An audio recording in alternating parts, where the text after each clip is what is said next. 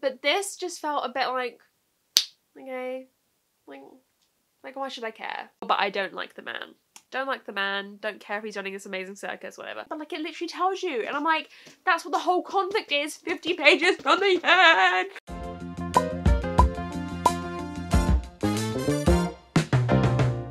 Yes, I am superficial when it comes to books. Do it, Deborah. Hey everyone, welcome back to my channel. I hope you're all good. Today we're going to start a brand new channel. A brand new channel? That's too much work. I don't want to like go nine to five job. I just want to focus on like my inner peace and just like have a good mind. A brand new series on my channel called Judge a Cover. So I have always been so obsessed with book covers, book cover design. And so in this series, we're gonna see whether you can really judge a book by its cover.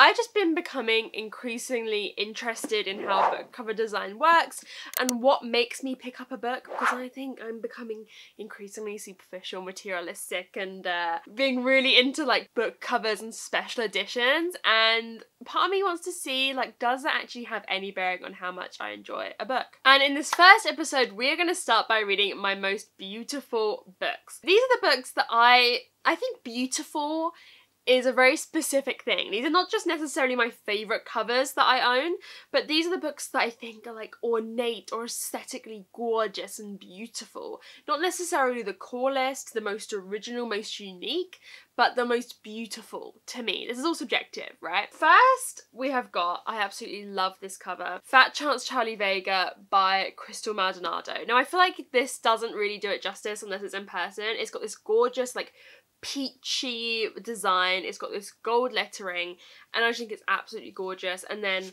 the hardcover itself is like this lovely like pale pale pink off white. I feel like this book looks just so gorgeous in person. I just love it. I think it's so gorgeous. It's probably why I have prioritized picking this up over a lot of like other YA contemporaries that come out. I don't read a lot of YA contemporaries and when I do I typically read the audiobook. So that's probably why I have prioritize this. So we're gonna see whether I enjoy this more than like other YA contemporaries. Then we've got another 2021 new release. 2021 had so many gorgeous books. Thank you. We have got Circus of Wonders by Elizabeth Macneal. Now tell me you're not obsessed with this cover. Like, I love the embossing. I love the gold on here. I like how shiny it is. I love the circus design. I've all, I've shown this before. I love the end pages. And then I, oh my god, I'm going to cry. I love the hardback itself with this dainty, dainty design. I think it is absolutely stunning. This is like one of my favourite books that I own. So we're gonna see do I actually love the inside as much? I've never read from this author before. I really don't know what to expect. And probably my favourite edition of a book I own. I want to collect this whole series. This is The Mystery of the Blue Train by Agatha Christie. Look at the blues and the oranges and the gold. Like, ah. cheese. Right. So this is like a special hardback edition that HarperCollins have done of like quite a few of Agatha Christie's books. This is one of them. And I'm reading the Hercule Poirot books in order, so it just works out really well that this is the next book in the series. This is the sixth in the Hercule Poirot series. Um, I know we've got a mystery on a train. I did love Murder on the Orient Express. That was the first one I read, and then I've read them in order since. So I'm hoping that I will really enjoy this. I love a like isolated murder mystery, as many of you know, like an isolated closed circle murder mystery. So I feel like that's what we're gonna get with this. I'm really excited. So, what do we think? What do we think? What do we think? Do we think that I'm gonna love these books more because I love the covers, or do we think it's gonna be like some three stars? Like, I don't know, I don't know what to expect, but like, I am so excited to read these books because of the covers. I'm not gonna lie to you, it's what makes me like really, really want to pick them up. I think I'm going to start with Fat Chance Charlie Vega. I am on my way to London to go and meet Emma and Tazmyn for the first time. I am so excited. I can't believe we're finally going to meet in person. And um, I have brought Fat Chance Charlie Vega with me to read on the train. looking up from my window. Sun's coming up like the day before. You're like a stone on my pillow. I don't make a sound when I shut the door. You don't have to wake up yet. Could you be the cutest cat in the world? Yes, you are. So I am halfway through Fat Chance Charlie Vega. Oh, firstly, hang on, haven't spoken about this. it was so lovely to see Emma and Tazmyn in the flesh. I still can't really believe it happened. I'm kind of in shock, but it was so lovely and we had so much fun and it was just like the best time. But I am halfway through Fat Chance Charlie Vega and you guys, I'm really enjoying it. yeah! I think is already one of my favourite, like, straight up contemporaries. Like, looking at my other contemporaries, a lot of them maybe are, like, told in verse or, like, have some kind of, like, other unusual element to them. But this is, like, your traditional YA contemporary romance. And it's one of my favourite of those. So in this we have Charlie Vega, who is fat. One thing I think this book does so well and this is something that I have struggled with myself. You know, I, I don't know whether body image on YouTube I find a strange thing to talk about because I'm fine being fully open about like my body and like what I think of myself and whatever, but I never want to like make anyone think something about themselves. And I think like social media is such a big uh, comparison is a big problem. Like people, and I look so different in camera. Like I have makeup on half the time, even when I don't, you look different on camera. I struggle knowing to talk about like maybe my fitness journey that I'm on at the moment or stuff like that because I don't want to like upset anyone. But anyway, there's definitely parts of this book that I can relate to, especially as well from my childhood. Basically, when I was a kid, I was a whole head taller than everyone else. I was this height when I was about 10. I'm five six, five seven. When I was about 12, I remember I was wearing a adult size 18. So my weight uh, is definitely something I struggled with in high school. I mean, I went to an all girls secondary school, so it wasn't that bad. But I can definitely relate to a lot of the feelings that this character is having. So, one thing, getting back to my original point. Just get to the point. One thing that I think this book does so well is examining the contrast that you can have as a fat person or you know, a person who doesn't fit into society's norms, being fat positive for other people, but struggling to apply that narrative to yourself. Sometimes being proud of your body and like who you are, but like not all the time and I think that's done that so well. And basically Charlie she has his best friend and she is used to her best friend like being the one that everyone loves. And she has this crush on this boy. This happens all fairly on it's early on it's not a spoiler but he like asks Charlie to prom, but he only asks her to get her friend there and then is upset when her friend doesn't turn up and it's just really heartbreaking. But she's starting to have this kind of like romance with this boy that she works with, Brian, and it's a really sweet relationship. It hasn't really started yet. I think it's going to be quite slow build. And I feel like the characters are acting like teenagers, like they're swearing. I hate in YA when like you can tell the author wanted to swear, but they were scared. and I'm like, come on, just give me the F word a couple times. But I love the discussions that are happening around the complexity of being fat. I would say maybe if you struggle, it's hard because I think people who want fat rep should read this, but also I can see elements of it that may be triggering. Like uh, her mum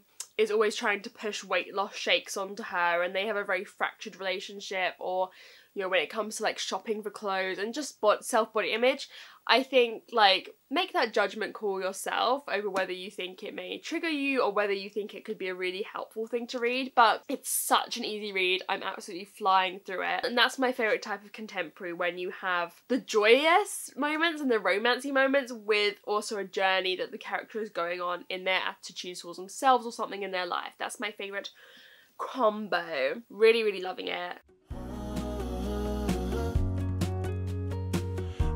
spend all day in bed. I'll put the TV in the room.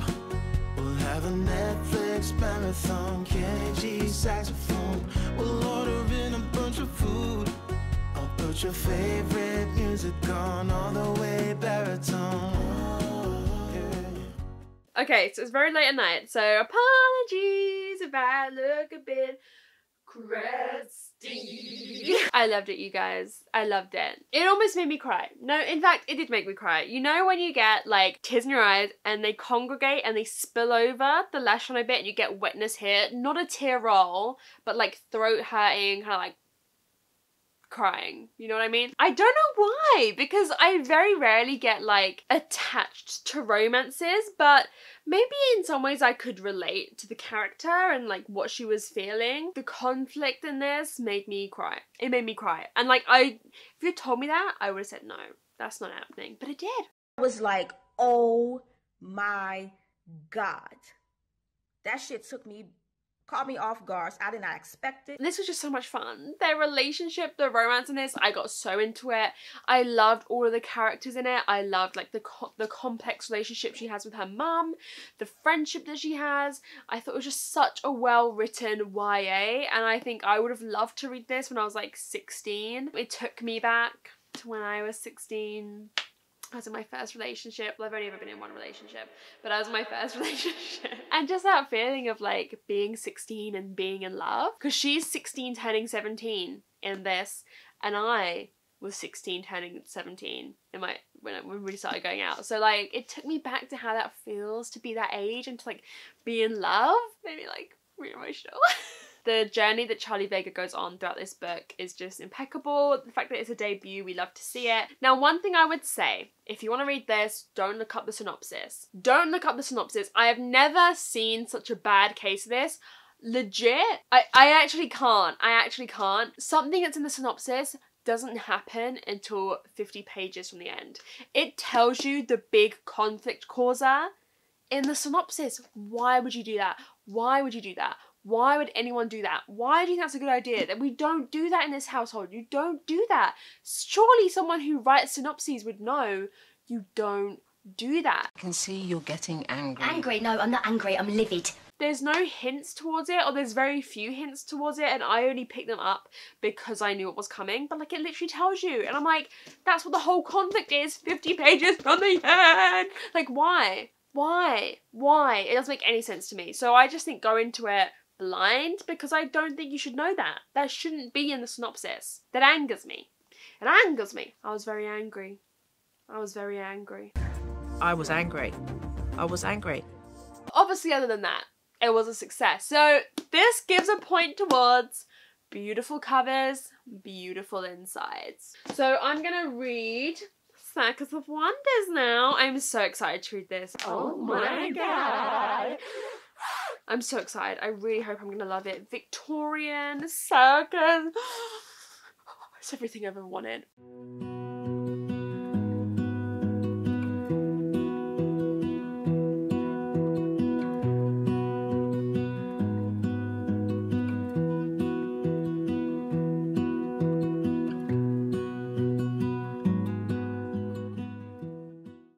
Talk about how gorgeous it is even without the dust jacket? Like I am I just keep looking at this and I'm obsessed. Like the daintiness of these lines.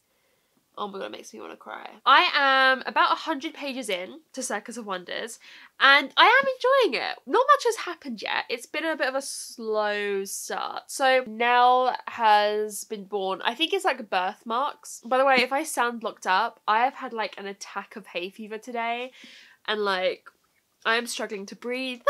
like talking is hard.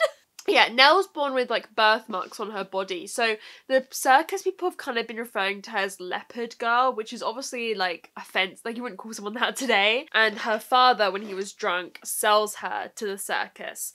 And she's gonna be like dressed up to be like an icon in the circus, basically.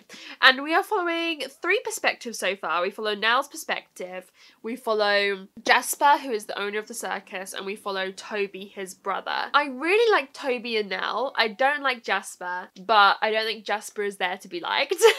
These white men are dangerous. My guess is that over the course of the novel, he's gonna like abuse his power, and he does so already, maybe. It's kind of suggested. I'm not like 100% sure, but I don't like the man.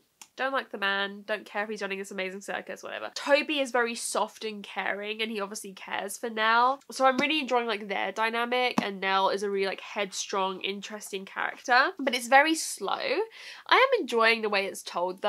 I can't put my finger on it, but I feel like you'll all understand what I'm talking about. Books written for this particular audience, like historical, I don't know whether it's literary fiction, not really, but like adult historical fiction that always is like big up in Waterstones. Like think The Nightingale by Kristin Hannah. Do you know what I mean? Do you know the kind of books I mean? No! It's in your head! It's in your head! But they're all told in this way that like feels like I'm only supposed to read these kind of books if I want to read this book. Does that make any kind of sense or do I sound crazy? I feel like you know what I'm talking about. I feel like we're on the same wavelength, even if I am chatting shit. so I was hoping the writing would be a bit more whimsical, a bit more like magical, but it's it's not really. But nothing has really happened yet. I'm enjoying the start of it, but like nothing has really happened. Nothing's really happened. Nothing has really happened. I'm gonna go read some more. Hopefully when I see you in the morning, I will uh I'll be able to breathe. and yeah, I don't know. I'm enjoying it. But it's not like everything I want it to be yet, but it, it like nothing has gone bad, nothing has annoyed me that means it can't become that. That means it can't become what I want it to be.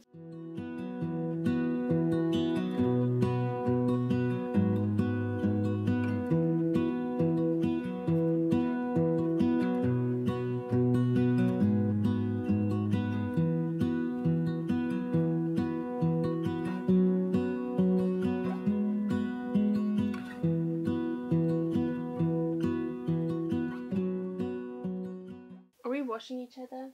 Oh, we are. Oh, we love each other so much. Oh, there's. She's I have just read like another 130 pages ish of Circus of Wonders, and I'm enjoying it, but like, I don't know. Here's the thing it's a very pleasant read. I'm enjoying the reading experience. I'm having fun reading it. I feel very absorbed in the world. But like, I don't think I'm gonna give this like five stars. Like, I don't think I'm that girl. I don't think I'm necessarily the girl that this book is written for, and that's okay. I feel like the atmosphere of the circus is really well created. I love a lot of like the characters we've got the circus. One thing I think this does super well is showing the truth of like these, you know, circus owners at the time, like curiosities circuses like Bar- P.T. Barnum, um, which if you don't know, the movie The Greatest Showman is about him. And like it's talking about all the awful shit he did. And I feel like that's why this book was written. I feel like this book is a response to the success of The Greatest Showman. Because it kind of it makes sense timeline wise that the idea would have been spurred by that. Because obviously that film paints him as like like just like this lovely guy. We all love Hugh Jackman. I mean like he's like the person we love the most. Is that true? It's very true. But that guy was actually a shit in real life. He was not good. he like preyed, you know, on these people who society cast out and made a lot of money off of them. So I feel like this this book is doing a really good job of showing the truth of these men and how cutthroat and like cynical and like abusive of their power they were. So that is probably one of my favorite aspects of it. Although I hate the character Jasper, I just find him incredibly annoying. I'm much more interested in Toby and Nell and their relationship and their storylines. I think Toby might be my favourite. He's like this soft, gentle giant. Both him and Jasper, they're brothers, I think I mentioned that. They served in the Crimean War together. Toby was a photographer actually. He wasn't a soldier, he was a photographer there. And he's obviously got like some dark secret that keeps being hinted at. But uh, he's very like affected and scarred and suffering from PTSD from the war, which I don't think was very well like understood back then. And like he's just so soft. And he's got this storyline. I don't want to spoil it obviously because it's a spoiler. Oh, okay, move away from me then. Oh no, he's just trying to get closer to her. Can you see how obsessed he is with her? He's her son. Yeah, he's got this storyline, which I'm not gonna spoil, but it's like making my heart break a little. Like there's something he's gone off and done something, and it's just like heartbreaking. I love the like Victorian setting. I listen, we all know I'm a hoe for Victoriana, like forever and always a hoe for Victoriana. So yeah, I'm enjoying it, but it's not like a new favourite. But I would recommend it so far, especially if you like Victorian settings like me. But it's not boring, but do you know what I mean when these books are always written a bit like, oh, I'm clever. Like I'm a great book. You know what I mean? It's like it's this book is saying to me, I'm a great book. Do you know what I mean? Does anyone know what I mean? Anyway, uh, I'm gonna go finish it. I'm just hoping it goes somewhere like a bit unpredictable in this last 120 pages. So I finished Circus of Wonders last night and I think I'm gonna give it like a 3.5. So I am a bit disappointed because this was like my favourite cover, like in the world, my favourite cover. It's sad. It's sad. You know, it's it's a shame. The ending of this for me just didn't 100% hit the mark. I just, yeah, it just, I was just a bit bored. I was just a bit bored. It didn't quite give me like oomph. I don't know. I don't know. And the writing never fully got me. I will say, I think this book did such a good job of like trying to give a voice to the performers of this day in these circuses who were so mistreated, had so little agency, how they were just seen as a means to an end, a means of a profit. I thought it did such a good job of that and of like, I guess dispelling some of the romanticism of these of these circuses that has been dreamt up by films such as The Greatest Showman. So I think it did a, such a great job of that. It's obviously such a well-researched book and I would recommend it just for that, like just for like the history aspect of it. But in terms of like how much I loved it, it I just feel like it's gonna be a book I forget. You know, I think at the end of the year, when I'm looking back on the books I've read, this will be a really forgettable book. Like, I don't think I'll think about it that much. But I just felt like it was always just a step more removed from me than I wanted it to be. I always struggled a little bit to like visualize some things. I would say there's a relationship in this between Nell and um like a young girl that like comes and joins the circus and that was one of my favorite aspects of it as well um like the love that she she feels for that child and how protective she is of her. So yeah i don't know. I just feel like it's a bit forgettable and i don't i didn't have like very strong feelings upon finishing it. The epilogue was heartbreaking. I did have strong feelings upon finishing that but just like on the book as a whole it just felt like a step removed from where I wanted it to be. Now I have actually already read half of The Mystery of the Blue Train. I'm gonna be honest, the whole time I was reading this, I was kind of looking forward to reading this. And boy, did I cheat like a mug. It's been about like nine months, I think, since I've read Agatha Christie, and I just really enjoy them. They're like short, they're quick reads, and I just, you know me, I love a murder mystery. I love a murder mystery, what can I say? I think we all need to be reading more murder mysteries. I've spoken about this in another video the other day, but this is basically the book that was the next book that Agatha really wrote after she went missing and her husband had cheated on her and she kind of had a breakdown because her husband was cheating on her. And this book is about this woman whose husband is cheating on her. Is it a coincidence? Is it a coincidence? I ask you. Is it a coincidence? And she gets murdered on this train. And like I feel like, girl, this is a bit of a self-insert. Like I really hope you're okay. I hope you're fine. And like because I know stuff about the story, basically Agatha's mum really warned her off mar marrying the guy that she married. And in this, the girl's dad is like, I told you not to marry him. And there's just so many things I'm like, girl, I, I hope you're okay. I mean, I know she's dead. And this was like you know, hundred, was it a hundred years ago? When did this even come out? I could not tell you. This was a long time ago, but I'm just like, girl, I hope you're okay. I hope you're good.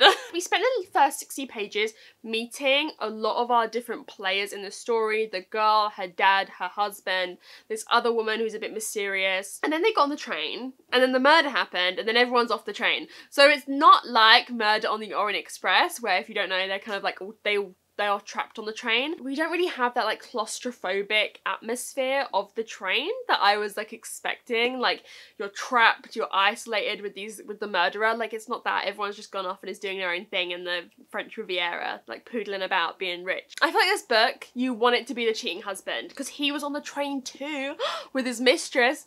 but I think it's a bit too obvious. I don't think it's gonna be him. But yeah, it's it's strange because it's not what I was expecting in terms of how the storyline is playing out. I'm intrigued as to why this is one of the books that has got this special edition, like one of these, because there's not been many of them in this special edition, and I guess maybe this is one of her most popular ones.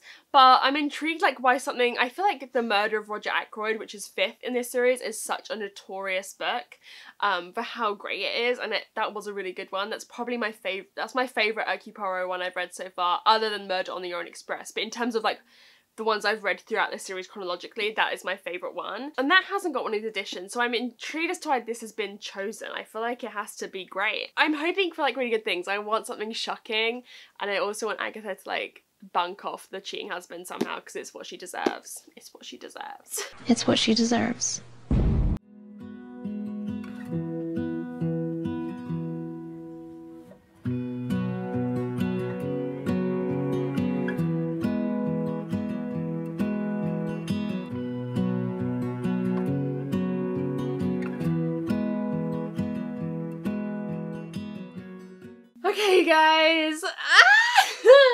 Just finished it. Didn't take me long. Like this took me maybe like three, three to four hours to read, somewhere in that bracket. I am gonna give it three stars. I'm gonna give it three stars. My success rate with Agatha Christie is not good, but I think I'm just very picky with her because I know what she can do. So my problem with this is that it felt a bit dispassionate. For me, Agatha Christie at her best is when there is a twist to the whole concept of the murder. Not just me not being able to predict who the killer was, it being something that I could never have predicted about like the reasoning or the context behind the murder, if that makes sense, like what how the murder actually occurred. That's when I've rated her highest. I think she does that so well when she does it, but this just felt a bit like, okay, like, like why should I care?